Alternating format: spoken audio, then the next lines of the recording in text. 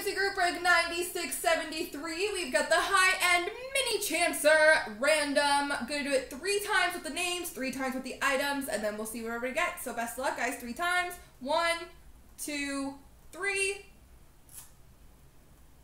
Whee! Copy. Paste. And the items. One, two, three. Copy. Paste.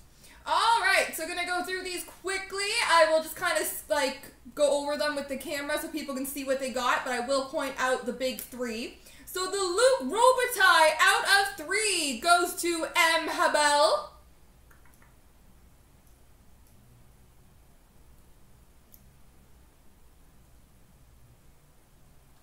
The Mark Messier out of three goes to Leaper 70, and right below him, our big winner tonight is M. Habel, who also gets the Gretzky out of 36. So congratulations, good $38 spent by you. Quick, uh, slowly just scroll through this so everybody else can kind of see, but they will be posted uh, in the group break section, so no worries there. But congrats, guys!